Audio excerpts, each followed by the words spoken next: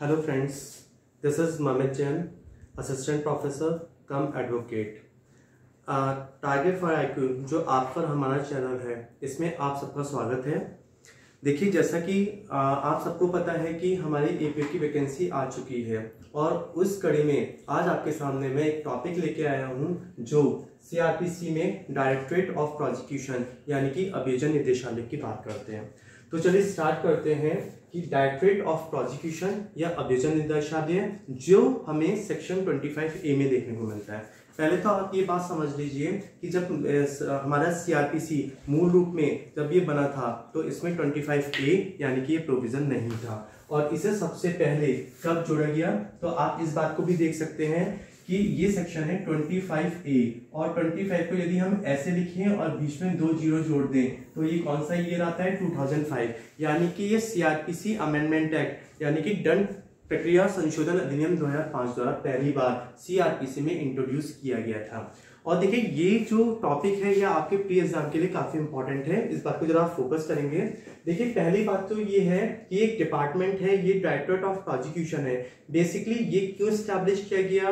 और इन, इन ये किन लोगों से मिलकर बनता है? इनकी पावर्स ऑफ़ फ़ंक्शंस क्या है? ये मैं आपको इन शॉर्ट एक एक प्रोविज़न में समझाने वाला हूँ। पहले तो हम ये देखेंगे कि जो director of directorate of prosecution है इसे स्टैब्लिश कौन करते हैं? तो इसे स्टैब्लिश करते हैं हमारी स्टेट गवर्नमेंट लेकिन ये ध्यान रखेंगे कि यदि हम क्लॉज वन पढ़े तो इसमें ये लिखा हुआ है कि the state government may establish यानी कि जो हमारी राज्य सरकार है वो इसे स्थापित कर सकती है। इसका मतलब है, ये उसकी डिस्क्रिशनरी पावर है कि यदि हमारी कोई स्टेट गवर्नमेंट इस डिपार्टमेंट को यदि स्टैब्लिश करना चाहते हैं तो करें, वरना ये मैंडेटरी प्रोविज़न नहीं है।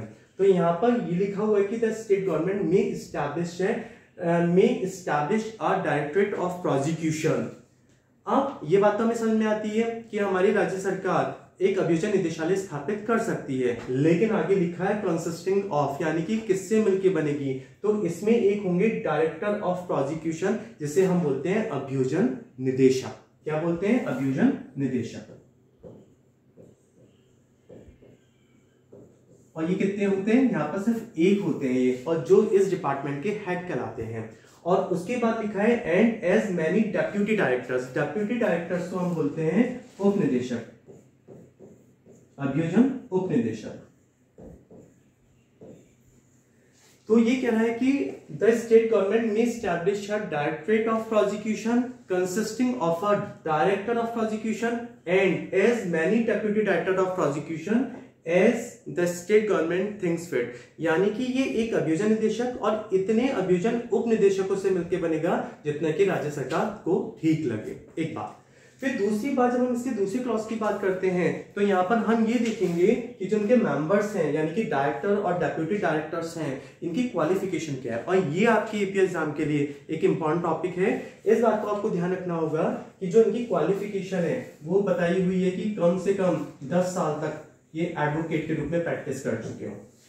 और दूसरी बात, यानी कि ये दूसरी बात भी मैंडेटरी होगी, ये क्वालिफिकेशन तो होनी ही चाहिए। और दूसरी बात, जब भी ऐसा अपॉइंटमेंट किया जाएगा तो जो कंसर्न हाईकोर्ट है, उनके जो चीफ जस्टिस होंगे, उनकी कंसेंट से ही ऐसा अपॉइंटमेंट किया जाएगा। और ये आपके पी एग्ज़ाम के लिए इंपॉर्टेंट है।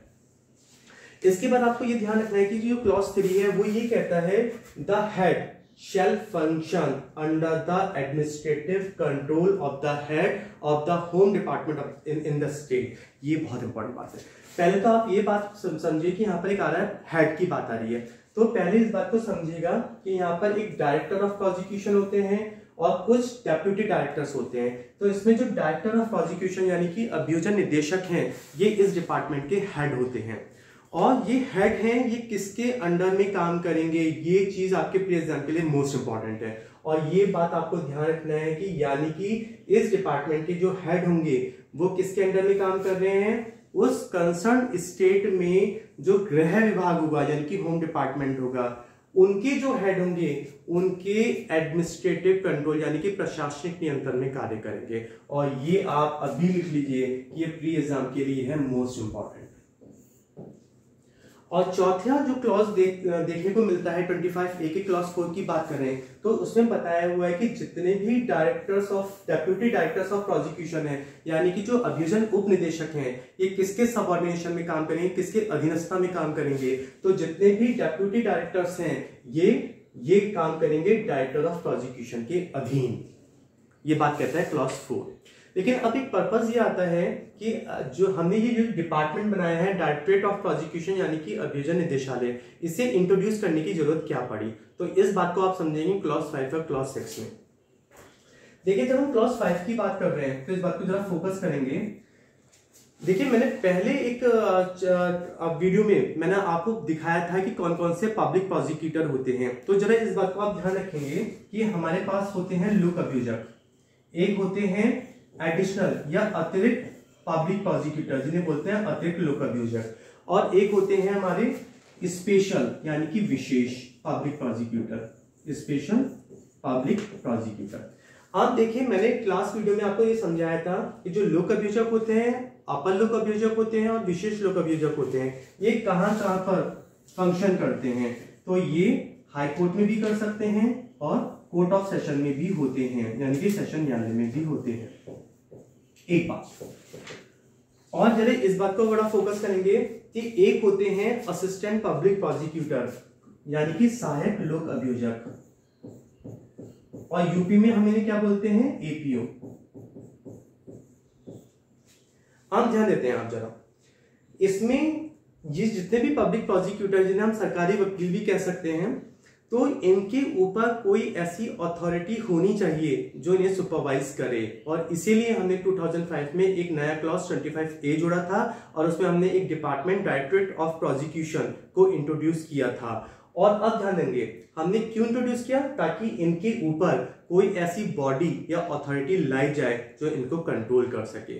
और यही बॉडी हमारी ये अभियोजन निदेशालय तो ध्यान देते हैं इस बात पे जरा फोकस करेंगे क्लॉज फाइव की मैं बात करूँगा। जब एक लोक अभियोजक यानी कि पब्लिक प्रोसिक्यूटर एक एडिशनल पब्लिक प्रोसिक्यूटर और एक स्पेशल यानी कि विशेष लोक अभियोजक जब ये हाई कोर्ट में अपने फ़ंक्शंस कर रहे हैं तो इनके ऊपर एक हेड बनाया है और वो हेड कौन है? डायरेक्टर ऑफ़ प्रोजिक्यूशन यानी कि अभियोजन निदेशक। लेकिन वो तब, जब ये तीनों केवल हाई कोर्ट में काम कर रहे हैं। तो इनका हेड कौन हो गया है? डायरेक्टर ऑफ़ प्रोजिक्यूशन यानी कि अभियोजन निदेशक। लेकिन अब ध्यान देखिए लेकिन यदि ये लोक अभियोजक, ये अपर लोक अभियोजक और विशेष लोक अभियोजक और साथ ही साथ सहायक लोक अभियोजक जब ये डिस्ट्रिक्ट लेवल पे कार्य कर रहे हैं हाईकोर्ट में नहीं डिस्ट्रिक्ट लेवल पे कार्य कर रहे हैं तो यहाँ पर इनके जो हेड होंगे, वो कौन होंगे? डेप्यूटी डायरेक्टर्स ऑफ़ प्रोजिक्यूशन यानी कि अभियोजन उपनिदेशक।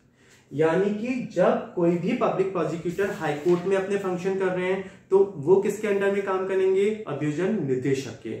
और जब कोई भी पब्लिक प्रोसिक्यूटर यानी कि लोक अभियोजक, अपर लोक अभियोजक और विशेष लोक अभियोजक, और साथ ही साथ मजिस्ट्रेट कोर्ट में कौन होते हैं? सहायक लोक अभियोजक। जब ये अपने फ़ंक्शंस कर रहे हैं तो ये किनके अधीन काम करेंगे? अभियोजन उप निदेशकों के अधीन।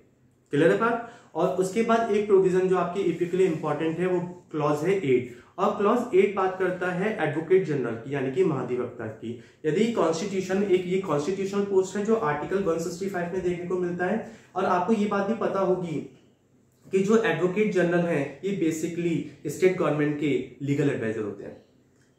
यही काम तो पब्लिक प्रोसिक्यूटर्स का है, और यही काम महाधिवक्ता का है, जो आर्टिकल 165 में मेंशन है.